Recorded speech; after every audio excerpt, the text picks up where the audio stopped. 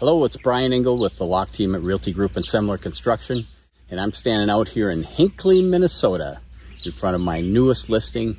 You have to check this one out. It's a beauty.